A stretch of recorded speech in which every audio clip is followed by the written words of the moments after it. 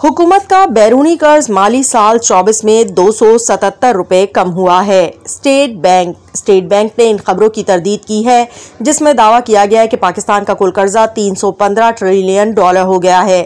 اس حوالے سے state bank نے ایک اعلامیہ جاری کیا ہے، جس میں وضاحت کی گئی ہے کہ حکومت کا قرض جون دو ہزار چوبیس تک اڑسٹھ ہزار نو سو چودہ ارب روپے رہا، جبکہ حکومت نے مالی سال دو ہزار چوبیس میں آٹھ ہزار تہتر ارب روپے قرض لیا ہے۔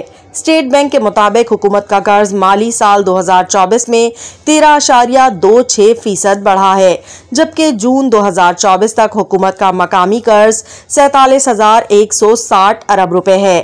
جون دو ہزار چوبیس تک حکومت کا بیرونی قرض اکیس ہزار سات سو چون ارب روپے ہے۔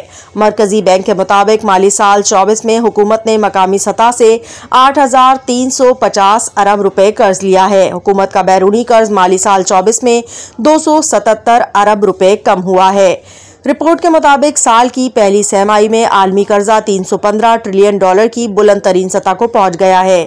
Institute of international finance I I F نے سہمائی عالمی قرضہ رپورٹ میں کہا ہے کہ عالمی قرض سے پیداوار کا تناسب مسلسل تین سہمائی میں کمی کے بعد بڑھ کر تین سو ستتر فیصد تک پہنچ گیا۔ یہ تبدیلی اس وقت سامنے آئی جب عالمی قرض کی ڈالر کی قدر میں سہمائی کے حساب سے ایک اشاریہ تین ٹریلین ڈالر کا اضافہ ہوا ہے۔